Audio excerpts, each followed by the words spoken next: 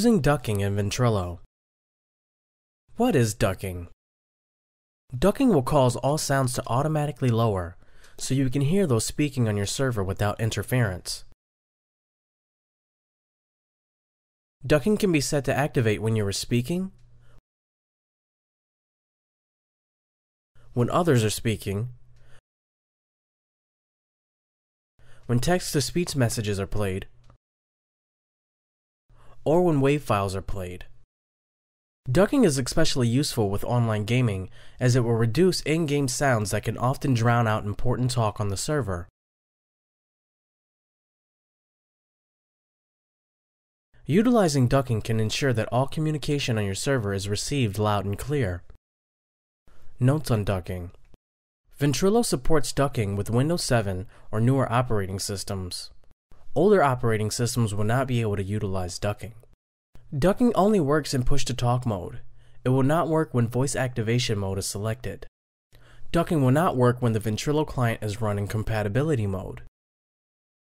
To activate ducking, first open the Setup menu. On the Voice tab, click the Ducking button. Check the Transmitting Enables Ducking box. This will enable ducking when you are speaking on the server, and will make the remaining options clickable.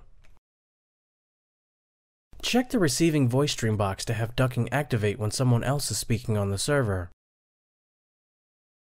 Check the Text to Speech box to have ducking activate whenever a text to speech message is played. Check the WAV files box to have ducking activate whenever a WAV file is played.